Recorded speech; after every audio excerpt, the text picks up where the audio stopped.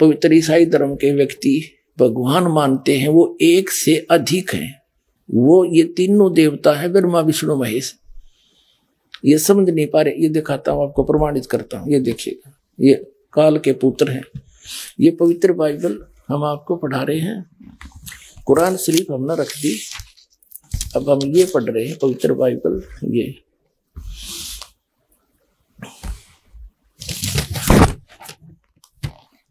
ये। पवित्र बाइबल, संपूर्ण जीवन अध्ययन बाइबल प्रबंधक, संपादक डेविड सटुवार्ड, अंग्रेज़ी प्रधान संपादक Donald C Stamps M A, M D, संयुक्त समाज, ऐसे ऐसे, सारा तुम पढ़ जाओ अच्छी तरह। यूएसए से छपा है। इसके हमने उत्पत्ति के यहाँ तक पढ़ लिया। फिर साँझ हुई, फिर भोर हुआ। इस प्रकार छठवां दिन हो गया। फिर सातवें दिन परमेश्वर ने जो काम करता था उससे सातवें दिन विश्राम लिया किया और अपने किए हुए काम से उसने सातवें दिन विश्राम किया। यानी सातवें दिन आपने ये भी पढ़ लिया, पवित्र कुरान शरीफ में तख्त पर जा बैठा ठीक है। इसके बाद ये देखो, अब हम आठ पृष्ठ पर आगे उत्पत्ति ग्रंथ के। इसमें सात नंबर, योहा परमेश्वर ने पूर्व की ओर अदन में एक वाटिका लगाई। और वह आदम को जिसे उसने रचाता रख दिया। और योहा परमेश्वर ने भूमि के सब भांति के वृक्ष जो देखने में मनोहर और उनके फल खाने में अच्छे हैं उगाए और, और वाटिका के बीच में जीवन के वृक्ष को और भले बुरे के ज्ञान के वृक्ष को लगाया। ठीक? तब योहा परमेश्वर ने आदम को लेकर अदन की वाटिका में रखा। और वह उसमें काम करे और उसकी रक्षा करे। ठीक है? युवा परमेश्वर ने आदम को आज्ञा दी कि तू वाटिका के सब वृक्षों का फल बिना खटके खा सकता है। भले बुरे के ज्ञान का जो वृक्ष है, इसका फल तू कभी नहीं खाना, क्योंकि जिस दिन तू ये फल खाएगा, उसी दिन अवश्य मर जाएगा। अब ये आठ पृष्ठ पढ़ रहे हैं हम, अठारह नंबर। फिर वह परमेश्वर ने आदम का अकेला रहना अच्छा नहीं है। मैं इसलिए इसका एक सहायक बनाऊँगा और उसे, उससे मेल खाए। तब योहा परमेश्वर ने आदम को भरी नींद में डाल दिया, अचेत कर दिया। उसकी हड्डी निकाल कर फिर उसकी हड्डियों को में से वो अगवा बना दी। युवा परमेश्वर ने पसली में से जो उसने आदम में से निकाली थी, स्त्री बना दिया। और उसी को आदम के पास ले गया। आदम ने कहा यह मेरी हड्डियों में की हड्डी है और मेरे मांस का मांस है, इसलिए इस का नाम नारी होगा, क्योंकि यह नर में से निकल गई है। आदम और उसकी पत्नी दोनों नंगे थे, पर लजाते नहीं थे, क्योंकि उनमें ज्ञान नहीं था। अब नौ पृष्ठ पर देखो। अब हम यहाँ आगे, मनुष्य का पतन। युवा परमेश्वर ने जितने बनेले पशु बनाए थे, उनमें से सर्प धुरत था।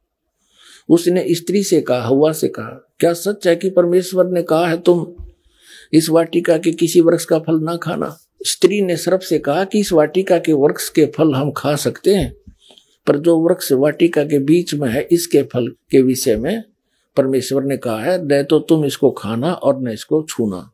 नहीं तो मर जाओगे। सर्प ने स्त्री से कहा, तुम निश्चय नहीं मरोगे। नहीं मरोगे तुम, खाओ इसको। वर्ण परमेश्वर, आप जानता है कि जिस दिन तुम उसका फल खाओगे, उसी दिन तुम्हारी आँखें खुल जाएँगी और तुम भले बुरे का ज्ञान पाकर परमेश्वर के तुल हो जाओगे। अतः जब स्त्री ने देखा कि उस वृक्ष का फल खाने के लिए अच्छा है, देखने में मन भाव है, बुद्धि देने के लिए चाहने योग्य भी है तब उसने उसे तोड़कर खाया और अपने पति को भी दिया। उसने कहा, तब उन दोनों की आँखें खुल गई। उनको मालूम हुआ कि वे नंगे हैं, इसलिए उन्होंने अंजीर के पत्ते तोड़कर लंगोट बना लिए।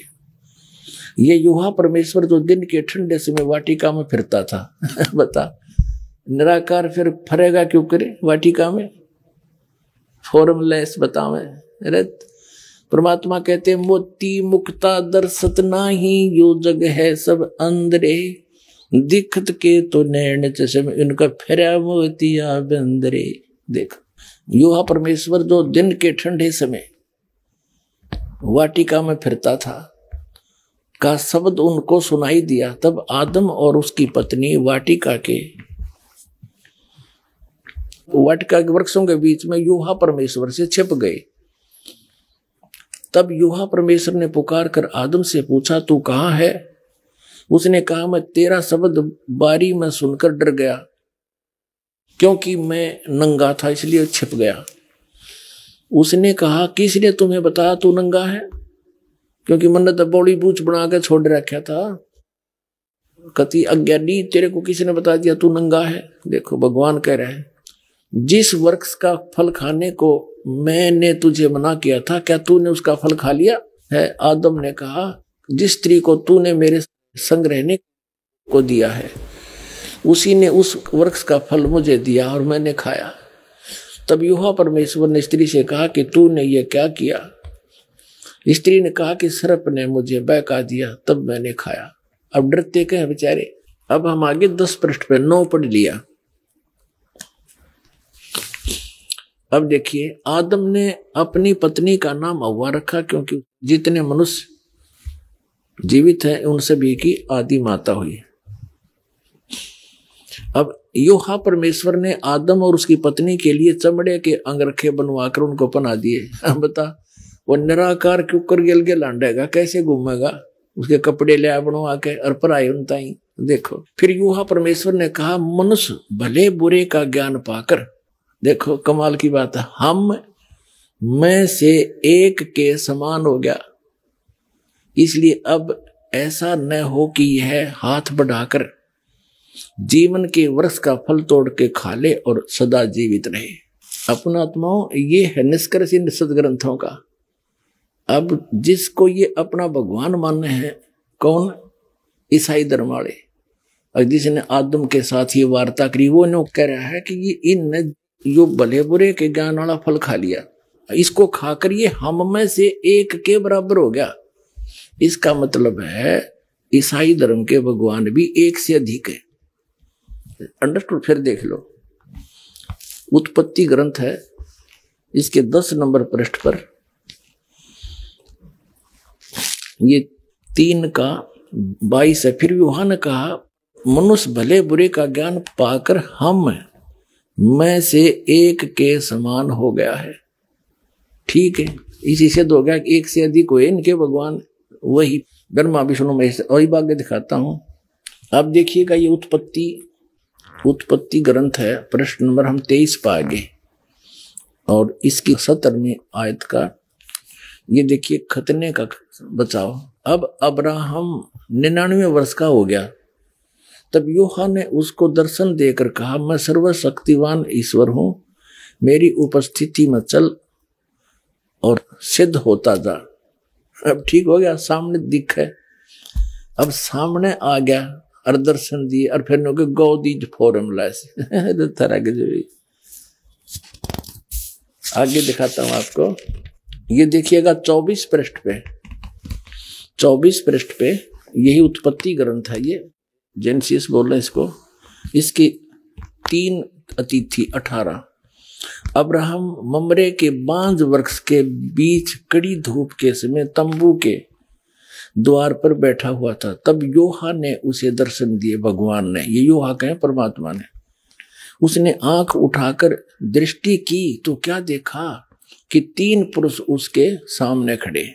ये तीनों ब्रह्मा विष्णु महेश अन्य रूप धार के वहाँ खड़े हो गया आके। देखो, जब उसने उन्हें देखा, तब उनसे भेंट करने के लिए तंबू के द्वार से दौड़ा और भूमि पर गिर कर दंडवत की और कहने लगा, हे प्रभु, यदि मुझ पर तेरी अनुग्रह की दृष्टि है तो मैं विनती करता हूँ कि अपने दास के पास से चले ना जाना। मैं थोड़ा सा जल लाता हूँ और आप अपने हाथ पाँव धोकर इस वर्ष के नीचे विश्राम करें और मैं एक टुकड़ा रोटी ले आऊँ और उससे आप अपने अपने जीव को तृप्त करें। तब उसके पश्चात आगे बढ़े, क्योंकि आप अपने दास के पास इसलिए पधारे। उन्होंने कहा, तू जैसा कहता है, वैसा ही कर। ठीक है। अब ये तीन हो गए और साकार हो गए, और फिर आगे कहता देखो, प्रश्न नंबर पच्चीस पर ये वैसे तो काफ़ी प्योर हम सब अपना अपना हिसाब कर लेंगे। साँझ को वे दो दूत सोदाम के पास आए। उनमें से एक तो टल गया और एक, दो वो चले गए सोदाम के पास। और लूत सदोम के फाटक के पास बैठा था। उनको देखकर वो उनसे भेंट करने के लिए उठा और मुँह के बल झुक कर दंडोत कर रहा, हे मेरे प्रभु, अपने दास के घर में पधारिए और रात भर विश्राम कीजिए। बिना खमीर की रोटियाँ बनाकर उनको खिलाई। अपने आत्माओं ये है सच्चाई।